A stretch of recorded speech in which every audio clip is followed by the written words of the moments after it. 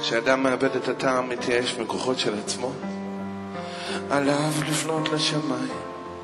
יש שם מי שמקשיב רק לו, ואז מבלי לדעת כלום, אדם מקבל מענה, רצונות חדשים, מילוי וקידום, תקוות לעתיד טוב ושונה. אחר כך הוא שוב נופל, שוב מתחיל לצעוק ולשנוא, מרגיש ריקנות מחומר ומרוח, בקושי סוחב את עצמו. כל השערים ננעלו, חוץ משער הדמעות. דרכו הדרך לחופשי, במסתרים נפלה נפשי.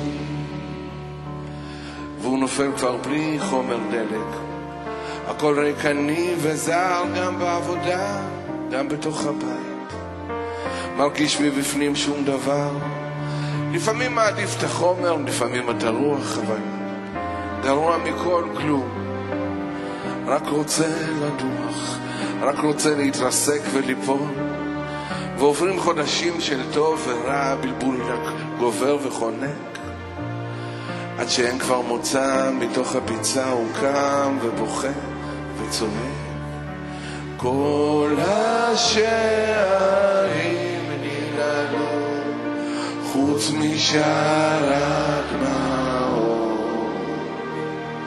דרכו הדרך לחופשי,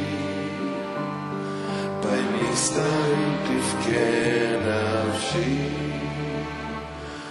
וזה לא בכי מערפול ידיים, פשוט האדם כבר מבין שלבד אי אפשר, צריך מינימום שניים.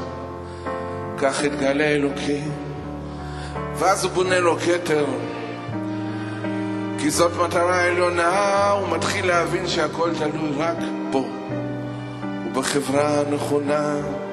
מצד אחד זוכה לכתר, מצד שני לשפלות של עצמו. אין כלום בעולם הזה, רק הבורא. אדם מאמין לכל דבר לו, שירו איתנו. כל חוץ משער הדמעות. דרכו הדרך לחופשי, המסתורים תבכה נפשי.